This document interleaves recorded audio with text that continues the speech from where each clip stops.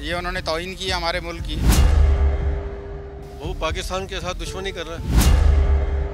एक मुल्क में आ रहे हो किसी के मुल्क में आ रहे हो उसके तराने की आपने हैसियत कोई नहीं दी। सऊदी अरब का जो तराना बजता है उसमें भी म्यूज़िक है तो उसमें क्यों खड़े रहते हैं? उसमें क्यों नहीं बैठते? पिशावर में सीएम केपीके की जानब से रहमतुल्लामीन कॉन्फ्रेंस का इनका किया था जिसमें अफ़गानिस्तान के काउंसिल जनरल भी शरीक थे। तकरीब में कौमी तराने के दौरान सब लोग अपनी नशस्तों से खड़े रहे लेकिन काउंसिल जनरल अपने साथी समेत बैठे रहे। इस सिफारती अदब की खिलाफ वर्जी को शहरी किस तरह देखते हैं आइए जानते हैं। सर मैं समझता हूँ कोई भी मुल्क को उसकी कौमी तराने की रिस्पेक्ट होती है चाहे वो पाकिस्तान हो चाहे वो इवन इंडिया ही क्यों ना हो। बिल्कुल पता होगा ऐसा तो नहीं हो सकता कि कौमी तराने की हैसियत किसी को नहीं पता है। कौमी तराने की हैसियत तो हर किसी को मालूम है। किसी भी मुल्क का कौमी तराना हम सबको एहतराम में खड़ा होना चाहिए उसके लिए। तो ये तो तोहिन है हमारे मुल्क की, हमारे तराने की। ये उन्होंने तोहिन की, हमारे मुल्क की। हमने खुद करवाई है और हम करवा रहे हैं पिछले पचास सालों से।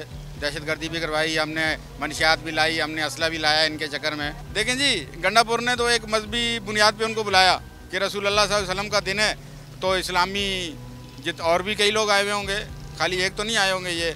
लेकिन चूँकि हमने इनको सर पे बिठा लिया है, हद से ज़्यादा इनको कवरेज दे दी है, जिसकी वजह से ये डंडा लेके हमारे ऊपर ही अटैक कर रहे हैं। सऊदी अरब का जो तराना बजता है उसमें भी म्यूज़िक है तो उसमें क्यों खड़े रहते हैं? उसमें क्यों नहीं बैठते? वो पाकिस्तान के साथ दुश्मनी कर रहे हैं। पाकिस्तान को नीचे दिखाने दिखाना चाह रहे हैं शर्मशार करना चाह रहे हैं पाकिस्तान।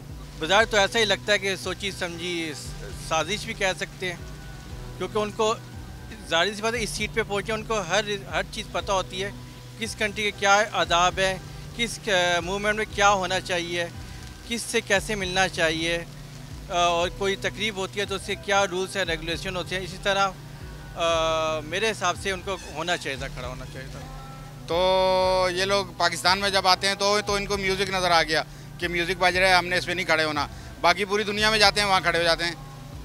बाकी मुल्कों में भी तो जाते हैं ना यही अफगानी ये तालिबान। अब ये ख़राब तो सर डेफिनेटली ख़राब होगी कि दो ताना माहौल इस तरीके से तो नहीं होता कि आप एक मुल्क में आ रहे हो किसी के मुल्क में आ रहे हो उसके तराने की आपने हैसियत कोई नहीं दी। तो मजीद आगे ताल्लुक मेरे हिसाब से डेवलप नहीं होंगे। अगर हम इनके साथ करें तो फिर इनको कैसा लगेगा?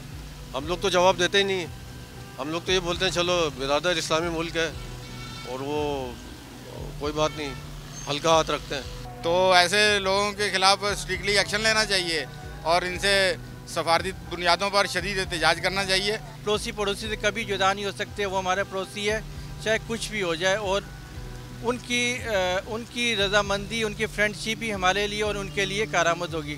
तो मैं समझता हूँ कि उनको ये चीज़ें बुला के एक नए सिरे से, चलो पहले अगर कुछ भी हुआ तो उनको सोचना चाहिए था। हमें भी सोचना चाहिए, मगर ये कि आइंदा के लिए एक पॉजिटिव जेस्टर देना चाहिए और दोस्ती का बनाना चाहिए।